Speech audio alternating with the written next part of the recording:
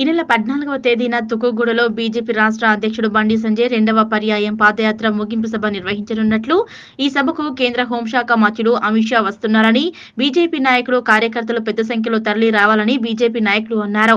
BJP మండల party అధ్యక్షుడు Sivaramulu BJP పట్టణ పార్టీ అధ్యక్షుడు Shankar Goud Ramayampet municipal councillor Sundar Singh BJP senior నాయకులు చంద్రశేఖర్ శ్రీనివాస్ మండల బీజేపీ కోశాధికారి రమేష్ తదితరులు పాల్గొన్నారు ఈ మీడియా సమావేశంలో. పద్నాలుగవ తేదీన జరగబోయే తెలంగాణలో భారీ బహిరంగ సభ. జనం గోస బీజేపీ భరోసా ఈ యొక్క బహిరంగ సభకు గౌరవనీయులు అమిత్ షా గారు రావడం జరుగుతుంది.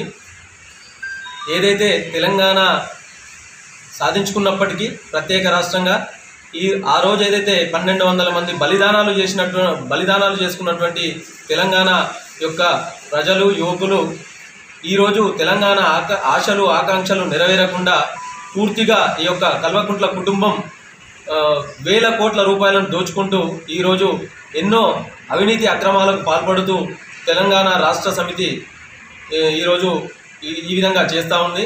దీన్ని భారతీయ జనతా పార్టీ పూర్తిగా ఖండిస్తూ ఉంది.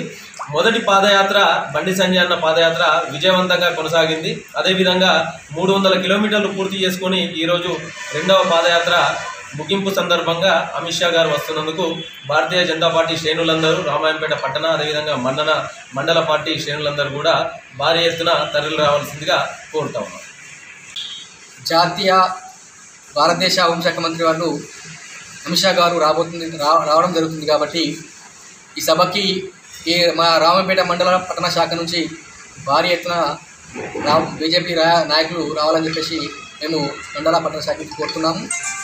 ఏదైతే బండి సంజయ్ గారు తెలంగాణలో ఏవైతే తెలంగాణ అనంతరం తెచ్చుకున్న అనంతరం తెలంగాణ ప్రభుత్వం టీఆర్ఎస్ ప్రభుత్వం ఏదైతే అబద్ధాలు అబద్ధాలతో అప్పులు చేసుకుంటూ ఏది చేస్తుందో ప్రజల సమస్యల్ని పట్టించుకోకుండా చేస్తుందో బండి సంజయ్ గారు మా అధ్యక్షులు వారు పాదయాత్ర ద్వారానే ప్రజల సమస్యలు తెలుసుకోవచ్చని చెప్పేసి స్వయాన ప్రజల వద్దకే పాదయాత్ర ద్వారా పోవడం జరుగుతుంది.